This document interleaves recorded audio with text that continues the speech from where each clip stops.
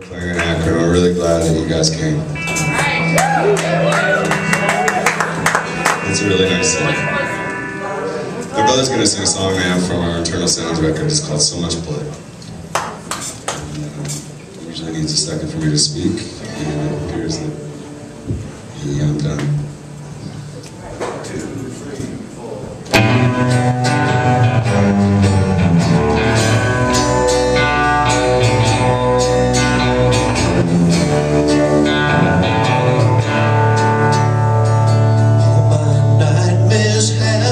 True. My days are torn apart. I should have changed my point of view